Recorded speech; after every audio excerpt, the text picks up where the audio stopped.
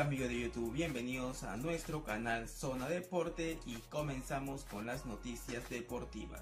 Esta noche Alianza Lima recibirá a Binacional en el marco de la decimoséptima jornada del torneo clausura en el Alejandro Villanueva. Si bien Guillermo Salas tiene casi definido el equipo que mandará al gramado de Matute, la novedad estaría en el banco de suplentes, donde Jefferson Farfán podría tener presencia, para alegría de todos los asistentes que asistirán al estadio. No pudo del local Sporting Cristal cayó por 1 a 2 ante Atlético Grau por el torneo clausura. Este jueves Sporting Cristal cayó por 1 a 2 ante Atlético Grau por la jornada 17 del torneo clausura con goles de Joel López Pisono, Raiza Noval y el descuento de Leandro Sosa en un partido que complica a los celestes en esta segunda parte del campeonato, pues podría perder el liderazgo en caso Alianza Lima venza a Binacional hoy. Si te gustó el video, apóyame con un pulgar arriba, suscríbete activando la campanita y nos vemos en un próximo video.